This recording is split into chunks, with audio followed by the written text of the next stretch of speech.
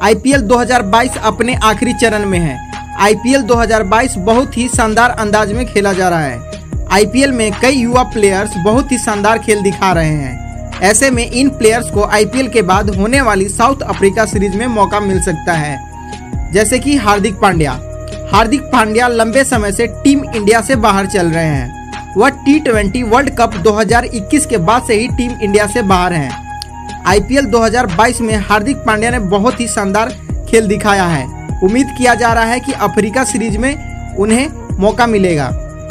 साथ में तिलक वर्मा, मुंबई इंडियंस के युवा बल्लेबाज तिलक वर्मा, उम्मीद है कि इन्हें भी अफ्रीका सीरीज़ में मौका मिल सकता है। साथ में उमरान मलिक उमरान मलिक लगातार 150 किलोमीटर की स्पीड से गेंद फेंक सकते हैं। वह यॉर्कर और बाउंसर गेंद भी फेंकने में माहिर हैं। दोस्तों, अगर अभी तक आपने इस चैनल को सब्सक्राइब नहीं किया है तो जल्दी से इस चैनल को सब्सक्राइब करें और साथ में बेल नोटिफिकेशन को भी दबाएँ।